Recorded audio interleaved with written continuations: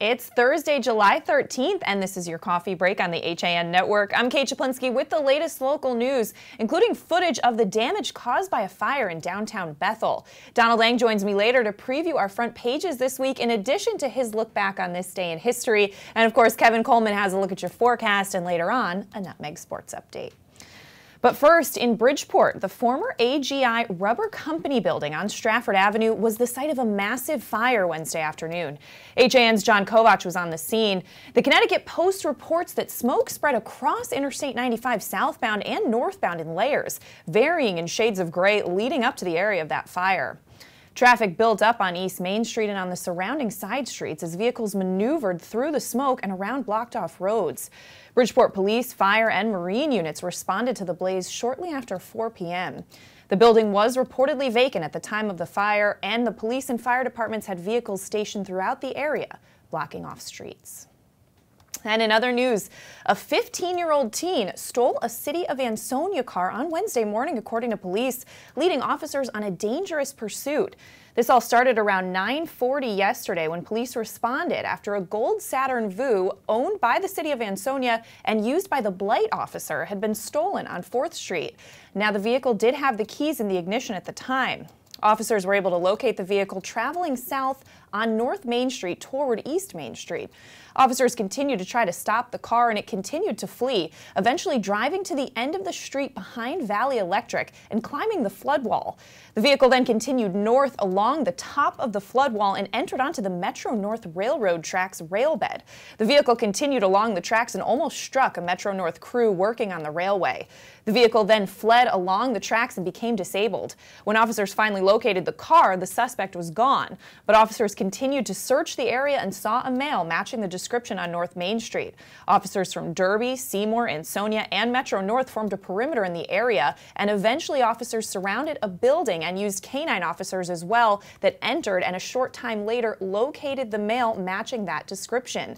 Since he is 15 years old, his name is being withheld, but he faces several charges, including larceny and reckless endangerment. He was transported to a juvenile detention center. And in other news, according to the News Times, several families are homeless and some businesses closed after a fire ripped through a mixed-use building in the heart of downtown Bethel early Thursday morning. HAN's Brian Hafele was on the scene this morning as fire crews tallied the damage. The three-alarm blaze at 178 Greenwood Avenue broke out shortly after 1 in the morning, and it was battled by Bethel firefighters along with crews from Brookfield, Doddingtown, Redding, and Danbury, according to Bethel Fire Marshal Tom Galliford. It took about three hours to knock down that blaze. The apartments on the upper floors were burnt and damaged with smoke, officials said, and the Red Cross has temporarily relocated multiple families. One resident and two firefighters were reportedly injured. And Darien police are investigating a bank robbery reported at Chase Bank at 165 Noroton Avenue. Witnesses told officers that a black man entered the bank at about 1 p.m. and passed a note to a teller demanding money. The note implied that the male had a firearm, but no weapon was ever displayed. The suspect was given cash and immediately exited the bank without incident. The man was last seen getting into a vehicle parked in a lot adjacent to the bank on Heights Road. The vehicle was described as a white sedan, possibly bearing New Jersey license plates. The Darien Police Detective Bureau responded and processed the scene, and detectives are actively working with the FBI in an attempt to identify that suspect, whose picture was captured on surveillance cameras. Darien police are also asking anyone with information to contact their detective bureau at 203 662 5330. Now, interestingly, Westport police are investigating a similar incident, looking for a bank robbery suspect. The Detective Bureau is looking for information into the identity of this suspect who robbed the TD Bank on July 2nd. He was described as a black male, about six foot one, and with a heavy build and a scruffy beard. He was wearing a Chicago Bulls hat at the time, and if anyone recognizes him, they can contact the Westport police at 203 341 6080. And the group of six Stratford Town Council members opposed to increasing taxes will host a special meeting tonight to discuss a budget proposal for the 2017-2018 fiscal year. Now, whether one passes or withstands another mayoral veto is another question. The special session will start at 6 p.m. Thursday at Town Hall in the council chambers. It's an extraordinary step for councilors to take as Town Council chairman usually calls the meetings. The council members will discuss a $219.49 million spending plan, similar to the one proposed by Mayor John Harkins at a July 5th meeting that was defeated in a 7 to 3 vote. You can get a lot more on that story at StratfordStar.com. And after a string of miscommunication and literal misfires surrounding this year's 4th of July celebration at Darien High School, the town's Planning and Zoning Commission is wondering if the process for the town's fireworks needs to be formalized in the future. Now, members of the Fireworks Committee and the Board of Selectmen arrived at the high school on July 1st, the scheduled day of the event, to find that a three to four foot trench had been dug in front of the stands at the high school stadium, blocking access to the public. The trench had been dug earlier in the week as part of the field lights installation project at the stadium. Now, while the fireworks were postponed until July 2nd due to weather, the Fireworks Committee had not been informed about the trench prior to that weekend. Now, during the course of the fireworks show on Sunday night, flammable materials from the fireworks burned through a double-lined tarp at the high school's East Stadium, causing damage to the field's turf. Now, while the cost of the damage has not been fully estimated, that turf installation was completed in 2016 and cost approximately 1.75 million. Funds for the turf field at DHS were contributed by the Darien Athletic Foundation. And there's a lot more on that story at DarienTimes.com. But let's switch gears now, throw it over to Kevin Coleman for a look at the forecast. Kevin. Thank you, Kate. We have sunny skies right now in Shelton, Connecticut, but we're going to see some clouds developing through the afternoon. Thunderstorms likely in the later part of the afternoon during your commute home. It's going to be a high around 89 tonight. Scattered thunderstorms will continue throughout the night overnight as well, the low of 62. Tomorrow, rain showers early with an overcast skies later in the day, high around 70. Saturday is going to be cloudy skies early, followed by partial clearing, slight chance of a rain shower throughout that mid to late afternoon time. It's going to be high around 82. And on Sunday, it's going to be absolutely gorgeous, sunny and a high of 83. That'll do it for your weather update. Kate, back to you. All right. Thanks so much, Kevin. Well, we're going to step out for a break, and when we come back, Donald Eng joins us to take a look back on this day in history. Kevin has your Nutmeg Sports update, and there's more local news after this. Celebrate summer with fresh made-to-order picnic boxes from Walter Stewart's Market. We have delicious summery selections from buttermilk fried chicken to grilled lemon chicken kebab, grilled shrimp Caesar salad wraps, or lobster salad rolls. Our easy-to-carry picnic boxes come with your choice of a meal, as well as a dessert, beverage, and utensils. Order online for simple pickup options. Walter Stewart's Market, 229 Elm Street, New Canaan, and online at stewartsmarket.com. can't believe it. Well, Dad, you did it. You sold 160 cars. Ready to go back upstairs now? I think it's time. I wonder how the boys are making out in their new office. Not what I had in mind, Kyle. What, Dad? Maybe we should retire. Right now, lease a 2017 Rogue S for only 139 a month. Isn't it time you got Millerized? At Pure Barre Ridgefield, our tried and true method can shape every body and fit any schedule. Pure Barre is a total body workout using the ballet barre to perform small, isometric movements which burn fat, sculpt muscles, and create long, lean physiques. Sweat away the day and get lost in the music. Pure Barre Ridgefield, located at 86 Danbury Road. Like us on Facebook at Pure Barre Ridgefield. If you've ever thought about owning a motor coach or learning about what it's like to travel the open road in superior style and comfort, then contact Dave's RV Center in Danbury, Connecticut. Offering the best quality Class A motorhomes from Newmar, travel trailers and fifth wheel lines from Surveyor, and a toy hauler line from Work and Play. Choose from Newmar's Gas Line, Baystar and Canyon Star, or from Newmar's Diesel Line, Ventana and Dutch Star. And with unparalleled service and maintenance, Dave's RV is committed to keeping you and your motor coach safely on the road and enjoying it to the fullest. Stop by their showroom, 2 Industrial Plaza Road, Danbury, Connecticut, or call 877 483 3866.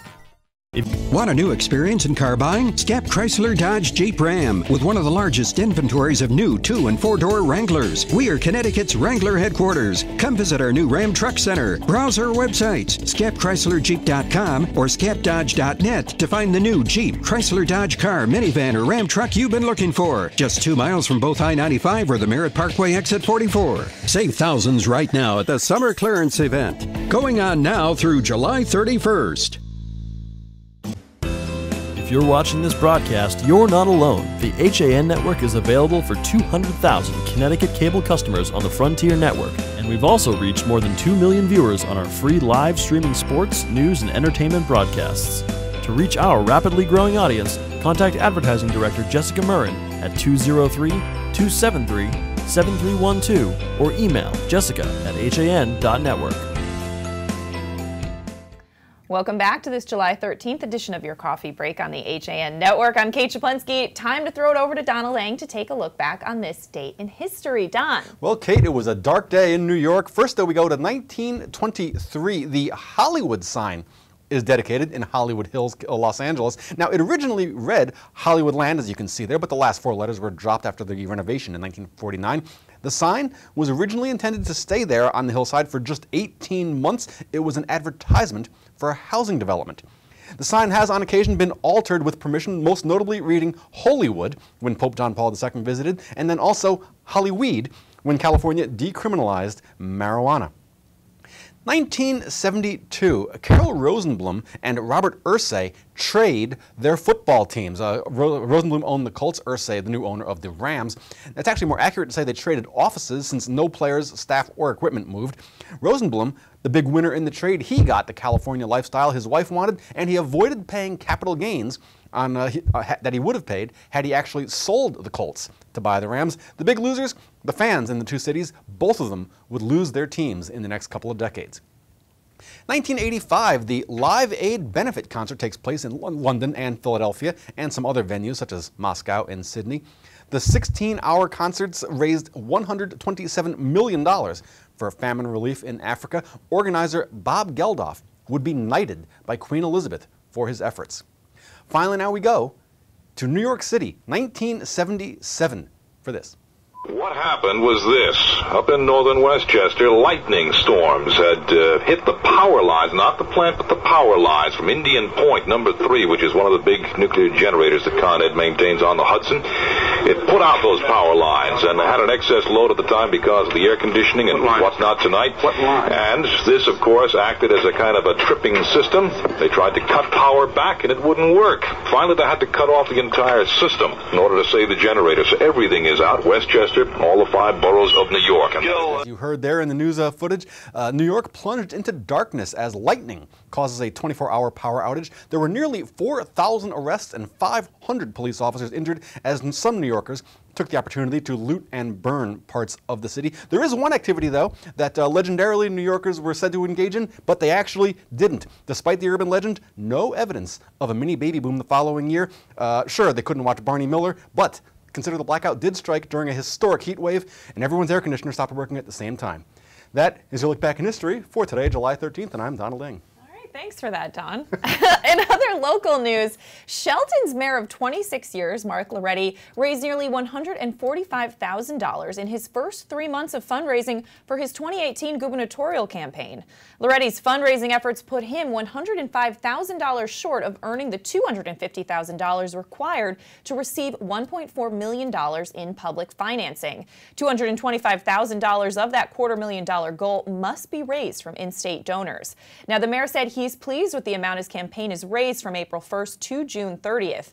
In 2014, Lauretti raised more than $100,000 for his second run for governor, but did not receive enough votes during the state GOP convention to qualify for the party's primary. All right, let's throw it back to Kevin Coleman now for a Nutmeg Sports Update. Kevin. Thank you, Kate. We'd like to thank again for all for both guests we had on during yesterday's Nutmeg Sports Show. We had Paul Carcaterra, ESPN lacrosse analyst, and again, a huge thank you to Mike Buswell and his four players from the Trumbull 14 and under Babe Ruth All-Star team for coming in live in studio. You can go back to live.han.network to watch that episode again because it was a lot of fun, and those players were having a lot of fun in the studio. And speaking of the 14 under All-Star tournament, last night Waterford they defeated Stamford two to one in that tournament. That means Trumbull, that team we had on yesterday during Nutmeg Sports, they will take on Stamford tonight. If Trumbull is able to win this game tonight, they will clinch a spot in the state final against Waterford this weekend. Coming up at 2 p.m. At, on Nutmeg Sports Today will be myself and Joe Mixie. We'll be joined by my for, former soccer coach, Phil Bergen of the Richfield High School boys varsity soccer team. We're going to get a preview of the upcoming fall season with him as well. We'll get you caught up in other local and national news stories around the sports area. That'll do it for your Nutmeg Sports Update, Kate. Back to you. All right, sounds like a great show at 2 o'clock. Thanks so much, Kevin. All right, it was busy yesterday in here. it was very busy. It was yeah. a lot going on, but like we said, those those four players were having a lot of fun and yeah. got to talk to them about what their favorite players were around the Major yeah. League Baseball and why they love baseball. So they had a lot of fun in the studio. It was very cool. Yeah. All right. Well, back to local news. A media firestorm hit when conservative co-host Joe Scarborough of MSNBC's Morning Joe said he is changing party affiliation. But New Canaan's Republican First Selectman Rob Mallozzi says he expects Scarborough to support him at the New Canaan Republican Caucus on July 18th. Criticizing Republicans for not standing up to President Donald Trump, Scarborough, a New Canaan resident, announced on Tuesday that he would renounce the Republican Party to become independent. Now, candidate for re-election Mallozzi said he's not worried that his celebrity supporter will miss the caucus. Mallozzi said to the New Canaan Advertiser, I talked with Joe and he assured me he's going to be a Republican through the caucus and that he's looking forward to supporting me and Nick Williams. There's more on that story at ncadvertiser.com. And Maurice Sendak, the late author and illustrator of Where the Wild Things Are, who lived in Ridgefield, has left behind an unpublished book that's set to be published in the fall of 2018 by HarperCollins. Presto and Zesto in Limbo Land was created by Sendak and lifelong friend Arthur Yorinks, who announced the book's release last week. Yorinks said nearly 20 years ago, Maurice and I, inspired by our friendship, conceived this book about two friends making their way in a very mixed up world. According to The Guardian, the book was found found by Lynn Caponera, manager of the Sendak estate and president of the Maurice Sendak Foundation, in his Ridgefield residence. There's more on that story at theridgefieldpress.com. And in other news, Connecticut's Beardsley Zoo debuted its newest exhibit renovation this summer, a large viewing window and sheltered wooden platform for viewing the rarest big cats in the world, the Amur tiger. The Amur tiger leopards are critically endangered with fewer than 30 animals left in the wild, 66 fewer than is needed to ensure the survival of the species, and only 176 in captivity worldwide. And you can get a lot more on that new viewing window at any of our HAN network news sites. We're going to step out for a break, and when we come back, Donald Eng joins me, and we're going to preview the front pages of our HAN Network newspapers this week after this. Want a new experience in car buying? No aggravation, no confrontation, just answers to all your questions. Scap Chrysler Dodge Jeep Ram. Car buying the way you want it to be. With one of the largest selections of new two and four door Jeep Wranglers available, we are Connecticut's Wrangler headquarters. Located in Fairfield, Connecticut, we're easy to get to. Just two and a half miles off the Merritt Parkway, exit 44 via Route 58 South. Save thousands right now at the summer clearance event. Going on now through July 31st. You don't have to go far for authentic Neapolitan cuisine and renowned wood fire pizza. Pizzeria Lauretano of Bethel is a contemporary Italian bistro, specializing in authentic wood-fired brick oven pizza Napolitana. Pizzeria Lauretano was named one of America's top 1,000 Italian restaurants in 2008 by Zagat, and recommended by Jane and Michael Stern on National Public Radio's Splendid Table. Located close to the Bethel Cinema, we focus on quality, and our food is always made to order. Join us for live jazz Sundays from 6 to 8. Find our schedule, menu, and more at pizzerialauretano.com and like us on Facebook. At InSports Trumbull, the game is always on inside. Registration is now open for our fitness training programs for high school athletes. The InSports Performance Center is offering blast speed classes, athletic functional movement assessments, and both men's and women's elite speed and strength training. Our premier programs help bring athletes to the next level. Call 203 268 1214 for more information Like and follow us on Facebook. School's out, the weather is hot, and the fish are biting. Whether you're heading to the beach or out on a boat, stop in at the dock shop before you go to fill your beach bag or tackle box with everything you'll need for fun in the sun. A new beach cover up, some sunscreen, or just some bait, the dock shop has you covered from either location 51 Tokeneke Road, Darien, 609 Riverside Avenue, Westport. And yes, you heard that right. Bait is now available in Darien and Westport. The Dock Shop, 51 Tokeneke Road, Darien, 609 Riverside Avenue, Westport. DockShop.com. I'm Tracy Masella, a licensed clinical social worker at Silver Hill Hospital in New Canaan. Join me each month as we talk with experts on the front lines of the treatment of mental health and addiction.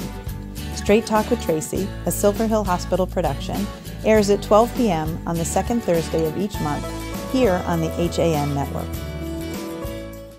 Welcome back to this Thursday edition of your coffee break on the HAN network. John Kovach off today, so our Trumbull Times editor Donald Eng joins me to preview our front pages this week. Out today, Don, what are you looking at first? Well, I have the Easton Courier here, and uh, the, the top story, uh, fairly disturbing one, that the former longtime custodian at Samuel Staples School has been arrested on child pornography charges. So that is uh, obviously the very big news in, um, in Easton. Also, some residents are petitioning to overturn the results of a referendum in town, and also Barlow students seeking to uh, teach English to some low-income adults. So some volunteer work in the community by some Joel Barlow students in Easton. All right, well, I'm taking a look at the Ridgefield Press, and for the most part, some good news over in Ridgefield, including a $1.6 million surplus for the town. Uh, there is some road work going on on Route 7 and 35, two bridges, different jobs, causing some traffic headaches there. But a great feature on the flower lady, Spencer Moore. She takes care of those beautiful baskets of flowers uh, in downtown Ridgefield. Kind of an in-depth look at her and a school bus driver connecting with local families. So more on that in the Ridgefield Press. Don? I have the Stratford Star here, and the top top news, for, and as it has been for the last month really, is the ongoing lack of a budget in Stratford. The council met twice more uh, and failed to compromise. They failed to pass a budget again in two meetings since Independence Day. Uh, also, sort of related news, uh, Alan Llewellyn will not seek a second term on the Stratford Town Council. You know, can you can you blame him? And uh, finally, a New York man charged charged with attempted murder after Stratford police say he assaulted his former girlfriend with a knife. A 19-year-old Brooklyn, New York man under arrest in Stratford. And then finally, a little bit of a nicer note there. You know, the ongoing uh, outdoor concert series in Stratford. It's always a nice thing in the summertime, and the, a lot of these towns have these outdoor concert events. So uh, that is the Stratford Star for this week. All right, taking a look at the Trumbull Times, Don, your paper, and just uh, wow, the photograph of this tree branch on a car in this car accident, very disturbing. Uh, but this happened Friday. Downpours creating some dangerous situations in town. And also, police responding to two dangerous 911 calls within minutes of each other Saturday. Uh, and Herbst pulling the town from a state coalition. We also have an update on that former Trumbull Board of Education member and a state Board of Ed member. He has pled guilty to four DUIs. More on that in the Trumbull Times. And First Selectman Tim Herbst closing in on his election funds goal. I have the Shelton Herald, and uh, the top story is a really, really cute story. A Shelton grandmother has turned into an unsuspecting YouTube sensation. she and her grandson just make these, uh, uh, just make these indescribably cute videos uh, yes. that, that, are, that, are, online, and you can actually see some of them on the Shelton Herald website, at uh, sheltonherald.com. Also, much like First Selectman Tim Herbst, Shelton Mayor Mark Lauretti closing in on his $250,000 fundraising goal, uh, raising about $150,000 in just the last couple of months. And finally, uh, a new outdoor pavilion going up at the Jones family farm, one of the big attractions in Shelton. And also a really nice story, uh, the, the free trips to, to the National World War II Memorials. This is a, a group, it's called um, uh, it's a group that brings World War II veterans to mm-hmm. Washington D.C. They have like you know charter flights and everything. They bring them down. It's really first class accommodation wow. for some of these World War II veterans, bringing them down there. So uh, a very a very informative and interesting Shelton Herald this week. All right, taking a look at the Milford Mirror, um, there a zone change denied. This zone change would have allowed the construction of a proposed 168 unit apartment complex for Plains Road near the Boston Post Road. That was a close vote, five to four. Uh, also Malloy killing a housing bill. More on that. And a junkyard fire was the big a junkyard fire was the big news this week in Milford. There's actually some video of that on milfordmirror.com. Teens working to raise awareness of a rare disease and controversial Seaside Avenue plan approved. Uh, in Redding this week, we have news of uh, one of the local residents competing in the North American Bridge Championships. It's, uh, you know, I found that story riveting actually when I read it this morning. Uh, also, a, a, real push in town to curb unsafe driving in town. Uh, you know, a lot of the small, windy roads in town that uh, people are really making a concerted effort to, to make them a little bit safer there, particularly with a lot of the children in town. And the institution in town, the Redding Roadhouse, closing its doors uh, after, uh, after, de after decades in business. It was really an institution in town, uh, the place to go for, for music and for, um, you know, for, for pub food and thing, drink things yes. like that. Um, the Redding Roadhouse, kind of a sad story there. That is closing its doors. All right, taking a look at the Wilton Bulletin, some zoning flaw concerns have come to light recently, and these could go back years, but the statute of limitations capping damage potentially there. And really a great story, a Wilton man honored in New Canaan as a hero for pulling someone from a burning car. And uh, Trackside Gardens providing a wholesome outlet for learning for local students. And bridge expert Michael Hess is heading for a bridge championship. Good luck to him. Yeah, partnering partnering with the Ridgefield with the Redding guy actually. They uh, oh, very cool. And uh, in Darien, we have uh, the Board of Ed is going on there is going on retreat there to try and kind of get, get become a, a more cohesive unit. Darien also adopting OpenGov for its financial reporting. A bit of an interesting story. The, uh, a, lo a, local family is actually uh, complaining about the Darien school system. Now, this is interesting because Darien traditionally is one of the top school systems in the state, if not the, the, the nation, and many people move to Darien specifically to put their kids into the Darien schools, including this family here who uh, spoke to the Darien Times about their disappointment with the school system. You can check that out at darientimes.com. All right, taking a look at the Weston Forum, um, Animal Control is getting an increased number of calls about fishers, not Yankee fishermen's, fisher cats. Uh, they weasel their way into backyards. nice word. You like that? Yeah, yeah, I did like that. It is Thursday, Yankee Fisherman Day. Um, also, police reporting a busy year. A lot of activity, but not much of it criminal activity in Weston. Mosquitoes test positive for West Nile virus, unfortunately, and uh, just some farmer market, farmers market fun uh, photos on the front page. Uh, well, on the Monroe Courier's front page, we have, first of all, we have some road work set to begin at the intersections of Route 110, that's Shelton Road, and 111, that's the Monroe Turnpike. Uh, very, you know, very busy intersection. Some state road work there going to be uh, ca causing some traffic problems for the foreseeable future.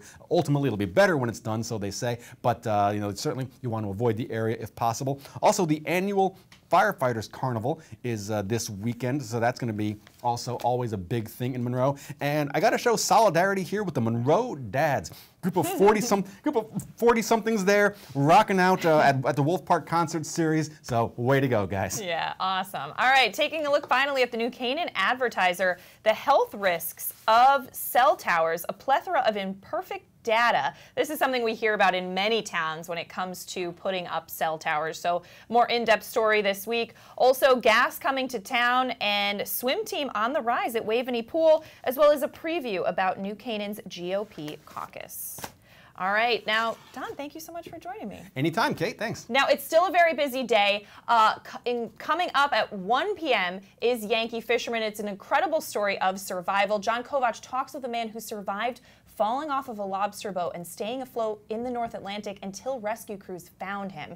We also, of course, have Nutmeg Sports coming up at 2 o'clock. And up next, this month's episode of Straight Talk with Tracy, it focuses on LGBTQ issues. That's coming up at noon. We're going to wrap things up here on your coffee break, but we will be back tomorrow at 11. See you then.